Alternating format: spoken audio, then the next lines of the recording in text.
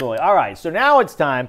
We, we've heard from the players what, what they eat, but how about the reporters and uh, going a little behind the scenes? Our Franco Macheo, The beautiful one. the beautiful one, continues his romp, giving us a behind the, t- the scenes tour at the Connecticut Open.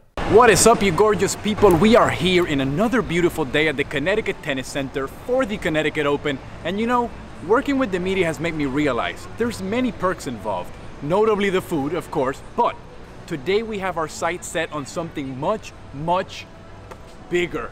And seeing that Porsche is the sponsor of the event, they take care of the players' transportation, I'm just here to claim mine. I already got the pizza. Now I just need the car. advantage. Hey man, I'm with the media. I'm just here for my Porsche. No, it's only players only. Sorry about that. Come on, bro. What if I slide you to Washington? Not gonna work, but I do got a ride that you'll like. At least I got dropped off right next to the pro shop. Thank you.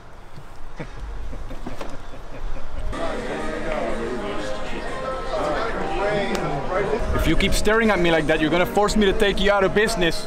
All right, it's your grave.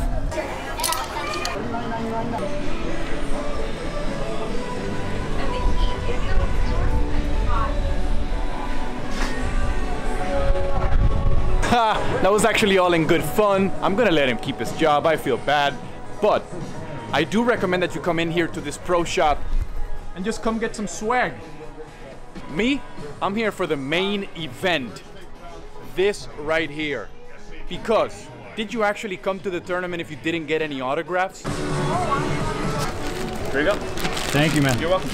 Listen, the players are outstanding, they're great, but I like to do things differently. So I'm just gonna ask for the autograph of the people that make this tournament actually possible. The workers, everyone that's in here day in, day out, doing great work.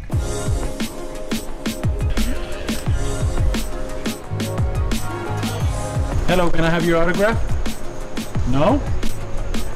Okay. Thank you though. And last but not least, my favorites, the real superstars of the tournament. Say hello to the ball kids. How are you guys? Who, who wants to give me their autograph? Oh wow, there's a line. All right, so I got a couple questions for all of you. What's what's the hardest part of being a ball kid? The towel. The towels? Yeah, probably. How come? Because then, if you don't do the towel, they start yelling at you. The hardest part is when the players start getting mad. They Yeah. start yelling at you, like snitching at you.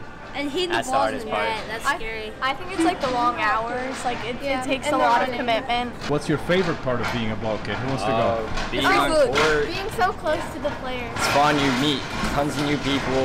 Last week practice. All right, they, they have to go. Always plug.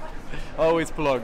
So thank you to the ball kids, and this is gonna be it for me. I'm just gonna leave it right here because what better way to end than with the pristine, the best part of the tournament. So be on the lookout. We're gonna be back with more tomorrow, as always, from the CT Open in the CT Tennis Center. This is CT Sports Now. Hugs and kisses. Back to you, Mark and Noah. I can't wait to see what he does tomorrow. Where is I he know. going in the tournament It's gonna tomorrow? be great. It's gonna be great. All right, you know what? We're gonna uh, we have to finish at least for a moment on that note. We have to finish because nothing can nothing can top that.